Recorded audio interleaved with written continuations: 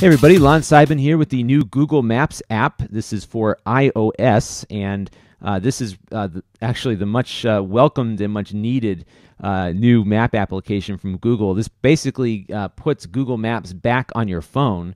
And the one thing that it does significantly differently than uh, the prior version, which was written by Apple, is that this version looks and feels just like an Android app. And it's very similar to how Google is bringing that Android look and feel to many of its applications in iOS, probably getting people to look at them a little bit differently and say, you know what, maybe Android isn't so bad after all. And this is really, for all intents and purposes, a, a very Android feeling application.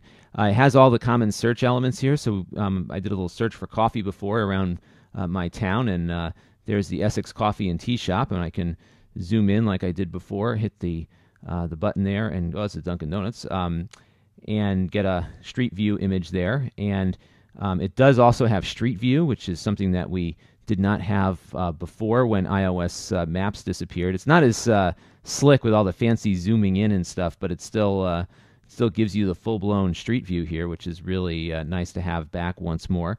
Um, and uh, it also does driving directions, which is something that the last version did not do. And we're going to just type in a location here. So we'll say um, from Hartford. And um, you pick your route here. It does just like it did before. You just hit 40 minutes there, and um, then you get going. It's pretty uh, it's pretty slick. Now it does uh, voice navigation just like the um, iOS uh, Apple Maps app does, as well as the the uh, Android version. Um, it also has this neat feature too, where you can with two fingers slide the map to the side, turn on traffic uh, get your public transit directions or maybe turn off satellite view. And it goes into default uh, the hybrid mode, which lists the satellite image along with the street overlays.